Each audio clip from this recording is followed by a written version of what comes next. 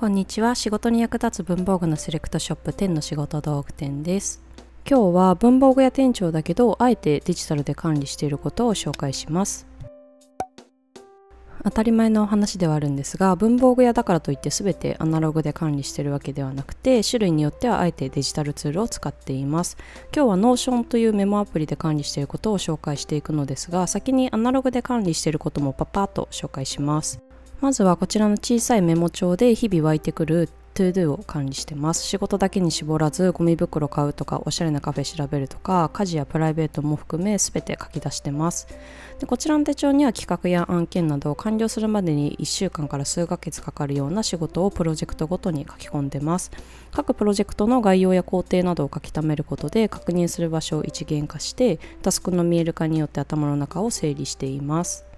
ここ最近ではアナログで管理してるのはこの紹介した2冊がメインとなってますが会社員時代とかは会議の自分用の議事メモを取るノートを作っていたりとか新しいことをやり始める時は自分に必要な情報だけをあの書き込んだマニュアルノートを作ったりと状況に応じてアナログで管理をしています。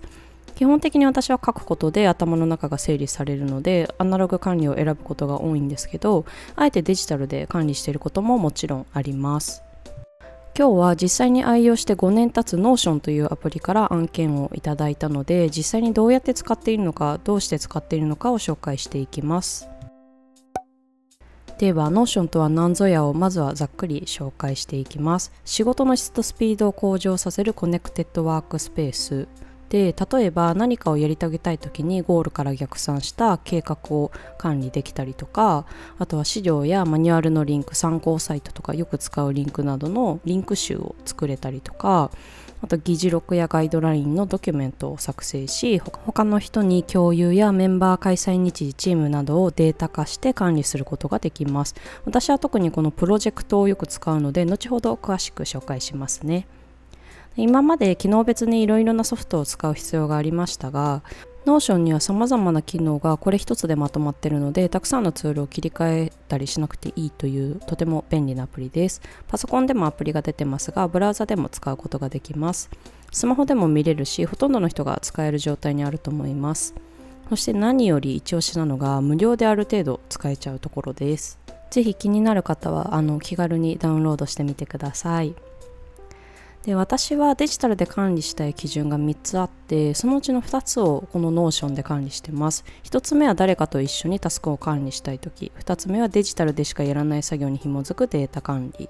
1つ目から具体的に説明していきます。自分だけのタスクではなく誰かに依頼が必要なタスクは誰が何のタスクをどのくらい持ってて今何をやっているのか認識したいですよね。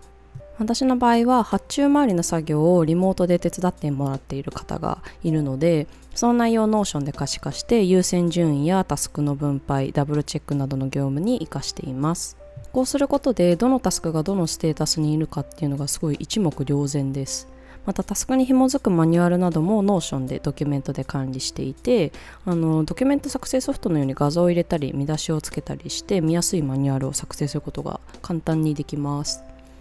ではタスクの管理部分についてさらに詳しく説明していきます。Notion ではデータベースという考え方があってそのデータを様々な表示方法で出力できます。今画面に映っているのが発注に関する全てのタスクのデータベースです。表でね表示されてます。それをボードという方法で出力するとこんな感じになります。ボードというのは進捗状況に合わせた列の下にタスクごとのカードが配置され作業が終わりステータスが変わったら右へタスクカードを移動させていきます。最終的には一番右側に完了の列があってそこに移動させたらタスク完了。Notion ではカードをクリックするとデータベースに登録していた詳細情報を見ることができます。データベースって聞くと難しく聞こえるんですけどもタスクに必要な要素を書き出して表にしているだけであのタスクに必要な、ね、項目っていうのは開始日終了日担当者くらいであとは管理したいタスクに合わせて自分で項目を追加していきます。で項目が作れたらわざわざねあのデータベースの表を表示せずにボードから簡単にタスクを作れます。こんな感じで事前に作ってある項目を埋めていくだけでタスクを作ることができます。他にもデータベースに入れた担当者を参考に自分のタスクだけをフィルタして箇条書きリストとして表示することもできます。